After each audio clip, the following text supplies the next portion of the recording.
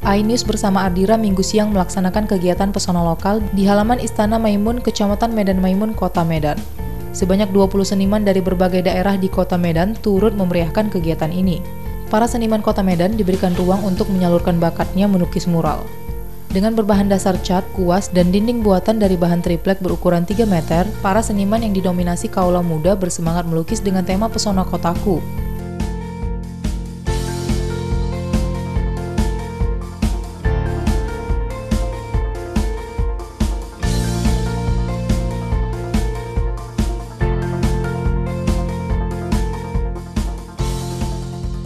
Seluruh peserta ikut berpartisipasi melukis ikon kota Medan, dari Istana Maimun hingga Durian. Kalau punya aku sih nggak terlalu sulit ya karena aku main di pop art gitu, bukan yang realis ataupun surrealis kan.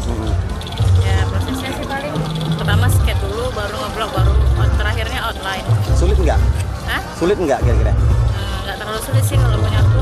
Kak dengan adanya pesona budaya lokal ini kak ya, eh, apa harapan kakak sendiri kak? Bagus nggak acara ini? Acaranya, Iya. Nah, acaranya sih seru, bagus. Eh, harapannya sih tiap tahun ada kayak gini. Eh, dukung anak-anak muda di Medan juga sih.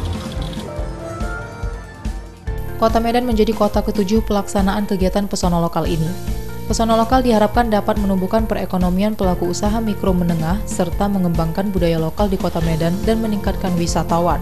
Dari Medan, Aminur Rashid, iNews melaporkan.